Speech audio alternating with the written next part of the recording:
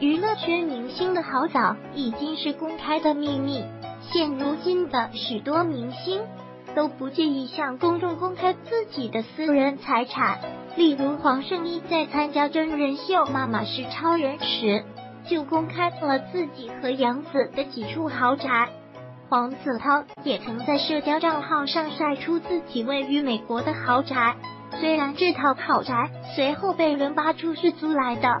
但他一天上万的租金也着实令普通人惊讶。作为中国最早拥有私人飞机的明星之一，成龙应该算是娱乐圈最有钱的明星。早年成龙在香港影坛和好莱坞努力打拼，凭借一股拼劲给观众带来了无数优秀的影视作品。这些作品奠定了他在国际上拥有的极高地位。数十年的积累让成龙家产颇丰，迈阿密、普吉岛、香港、澳大利亚、新加坡、好莱坞、纽约，在世界各地都有成龙购置的房产。虽然房产颇多，但成龙工作生活的主要地点还是香港。他在世界各地的豪宅，如今大多变成了游客观光的聚集地。和世界各地拥有富丽堂皇外表的豪宅不同，成龙在香港的住宅却十分低调。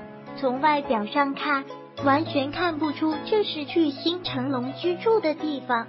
二零一七年，成龙曾向媒体公开了自己位于香港的住宅。他向记者透露，为了不让人发现他的住处，还特意把房子选在人烟稀少的工业区。通过遮护的铁门才能进入。虽然房子外表看似平平，但走进去却别有洞天。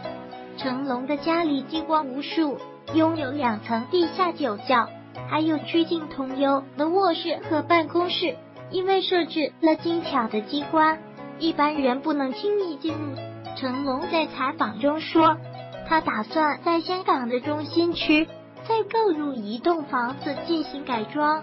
还会在房子里加入保龄球室等更多功能，那样我可以哪里都不用去，就一直住到退休就好了。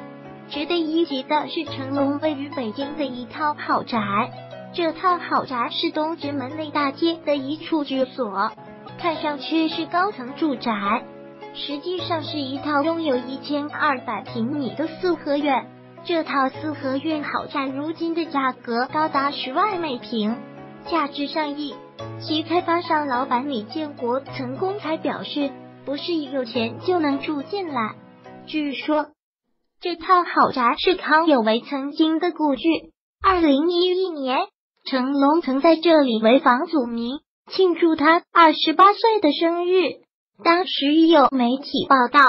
成龙把这套房子当做生日礼物送给了他。从房祖名晒出的照片和公开资料中，我们可以窥见豪宅的部分面貌。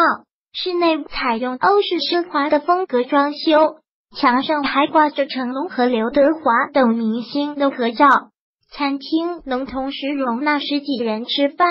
讽刺的是，二零一四年，房祖名和柯震东。就是在这套豪宅里吸毒，被警方当场抓获。